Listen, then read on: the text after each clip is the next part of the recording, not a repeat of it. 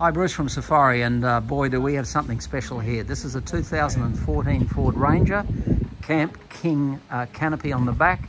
Look at this beautiful 400 watt solar. It was still putting out solar a few minutes ago. Before we step through what's pretty special about this, look at this beautiful uh, instant hot water. Let's come around and meet the owners here. And uh, this is Michael and Kate. And uh, now, Michael, we're going to step people through it. This is an incredible build that we've got here.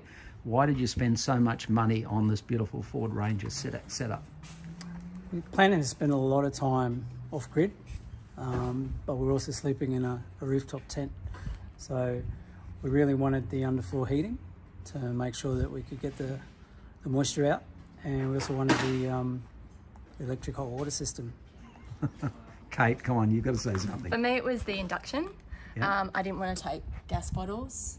Um, just don't feel really comfortable with bushfire season and things like that. So the induction is perfect, just slides out. It's little, easy. And you're voting also for the under mattress heater? Oh, absolutely. For the for the warmth, because I yeah. get cold at night, but also to dry out the mattress for the mould. Yeah. Potential. So this is actually a world first. What we're doing is we've got our luxury underfloor heater up there, but to control that luxury underfloor heater, is this Bluetooth puck. And this Bluetooth puck here measures both temperature and humidity. And they will see that up on the screen here. And I'll just pull it up now. And they will see up here roof uh, top tent here, 28 degrees C, 56% moisture because we've got it up here. When it's under the mattress, you'll see exactly what the moisture is in the mattress to dry it out. Now let's step through a couple of other things. We've just been running the uh, 6,000 watt uh, instant hot water here. I'll just move this little pillow out of the way here. Look at this baby here. It's on at the moment. It's on setting six here. Uh, wound the temperature up over, I think we're sitting around 42, 44 degrees C.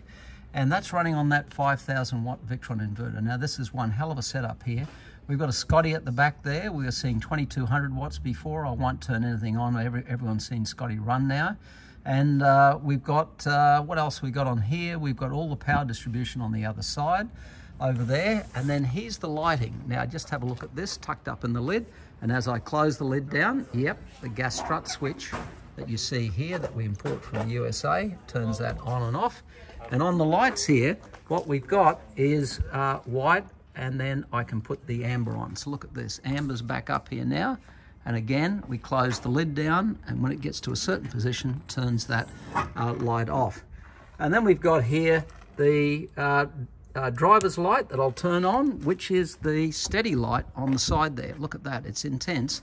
And there's a rear light on here as well. So we turn the rear light on, that's the water pump, and the passenger light, and they're way up the top up there. Then on this side over here, we've got rock lights underneath. And these rock lights underneath, you can actually change the color on them. That's just like a blue, you can just see at the moment there. Um, the fridge, of course, and the compressor. And here's the compressor all built in, all wired in here.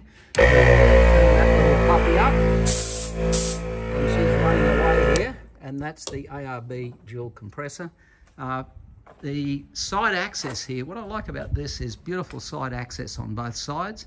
There's the Camp King Industries logo. Shout out to them. Beautiful product, guys.